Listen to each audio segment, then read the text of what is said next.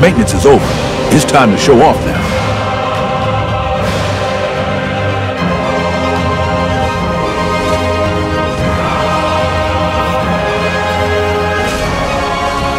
Killahan Maximum!